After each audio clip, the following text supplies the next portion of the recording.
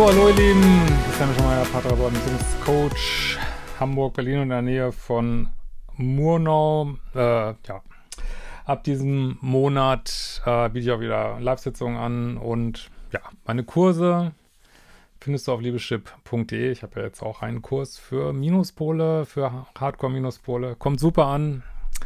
Und du kannst auch noch einsteigen in die aktuellen Challenges, Selbstliebe und Manifestation. Und ganz kurz noch ein Hinweis zu dem Dating-Projekt Soul Matching. Wenn du zu den 500 Ur-Usern gehörst, die wir jetzt haben, kannst du den später mal ersten Monat Vollmitgliedschaft kannst du umsonst kriegen, wenn du äh, noch zehn weitere Leute über deinen Link, den du hast, ähm, wenn die sich auch registrieren, aber kriegst du heute eine Mail. Guck vorsichtshalber auch mal in Spam-Folder rein oder morgen kommt die Mail. Ähm, und gilt für Liebeschip übrigens auch. Da habe ich jetzt auch gehört, das ist manchmal echt schwer, dass die Dinger nicht im falschen Ordner landen. Guckt er gegebenenfalls mal nach. Aber jetzt zum Thema, endlich. ähm, kann ich mich in jemand verlieben, den ich nicht attraktiv finde? Fand ich neulich mal eine echt coole Frage. Ich glaube auf Instagram. Ähm, ja. Und da gibt es überraschend viele Antworten zu. Also, ähm, so nach meinem Dafürhalten sind, so wie ich das verstehe, sind vor allen Dingen Frauen super, äh, nee, Männer, nicht Frauen.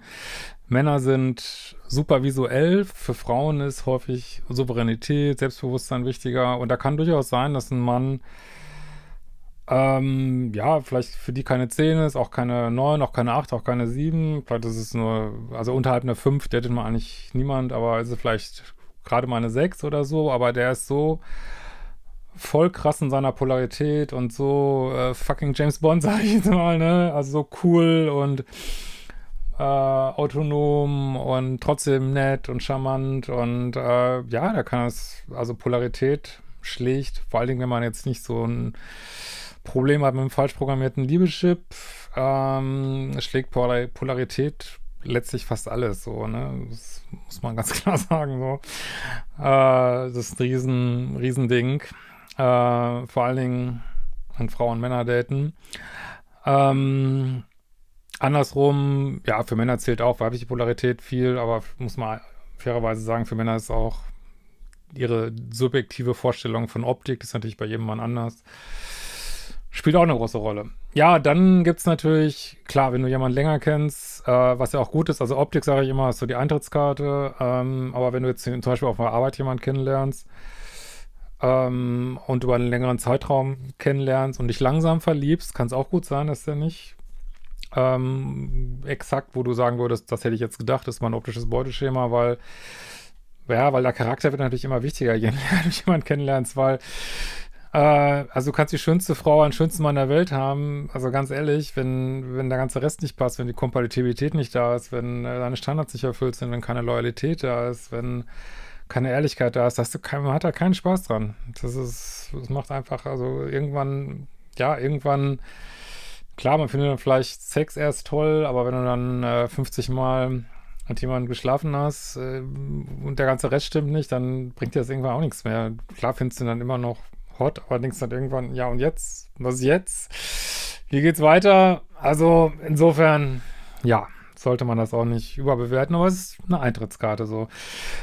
Und dann darf man natürlich auch nicht vergessen, wenn diese Person, die nicht so für dich persönlich nicht so attraktiv ist, wenn die voll auf deinem Liebeschip liegt, vor allen Dingen dem vielleicht noch ein paar toxische Themen aufzuarbeiten hast, äh, Alter Falter, also es gibt wirklich Sachen, äh, wo, wo Leute liebessüchtig werden zu Menschen, wo wirklich der gesamte Freundeskreis sagt, was, ich meine, natürlich ist jeder Mensch jetzt gleich viel wert letztlich und jeder ist irgendwo liebenswert, äh, aber wo wirklich der ganze Freundeskreis sagt, was ist da los? Das ist alles nur, da passt doch gar nichts und äh, keine Ahnung, äh, ist nicht dein Beuteschema, wohnt in Timbuktu, äh, weiß ich nicht, äh, hat schon zehnmal gelogen, ist fast gar nichts und trotzdem verliebt man sich total darin. Ja, das ist dann der falsch programmierte Liebeschip, wo man irgendwelche Kindheitsthemen sich vielleicht nochmal angucken muss. Und äh, der falsch programmierte Liebeschip schlägt leider auch,